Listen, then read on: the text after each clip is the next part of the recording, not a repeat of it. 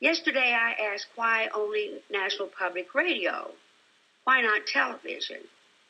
I think I know the answer to that. A few years ago, that was tried. The House of Representatives actually tried to kill Big Bird, destroy Elmo, get rid of Bert and Ernie, but it didn't work. And I think they didn't want to try that one yet again. And the